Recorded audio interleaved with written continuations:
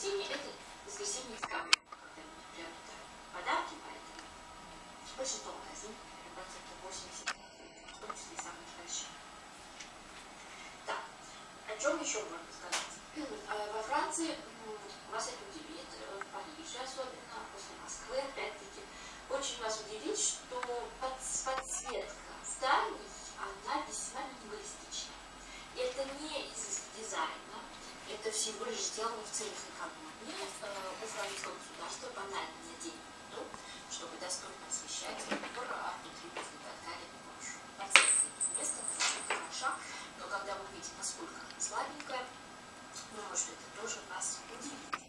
Так, что еще я в своем списке отметила? Так, французское метро.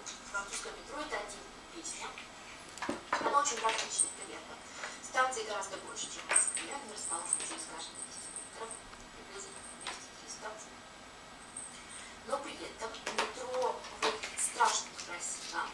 общего с московским. Метро э, заплевано, э, ну вы понимаете, о чем я, запах доносится совершенно. Иногда проходишь по какому-нибудь длинному коридору, выбираешь воздух, чтобы не вдыхать. То, что там повсюду валится мусор, клошары заполонили уже все метро. Нужно знать еще, что в метро нет никаких э, как бы надзирателей за порядком, никто за этим не следит. Э, В крайнем случае можно нажать на кнопку вызвать начальника станции. И иногда э, можно видеть полицию, что очень удачно. Э, Поэтому в парижском метро будьте особенно осторожны. Здесь есть банды румын, банды девочек румынок. Я их видела лишь несколько раз. Они на вас налетают со всех сторон, отбирают у вас все, прикрыть. Кроме того, их даже если удается арестовать, их отпускают на следующий день, потому что они не совершили. Поэтому, пожалуйста, будьте очень осторожны. Не э, вывешивайте так явно ваши какие-то э, фотоаппараты, видеокамеры.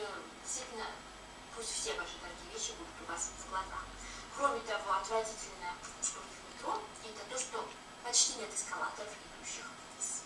То есть эскалаторы идут вверх, прекрасно, но когда вы должны с чемоданом спуститься по лестнице, я желаю вам удачи. Это действительно не самое приятное. Э, эскалатор, идущих вниз, почти я не видела никогда.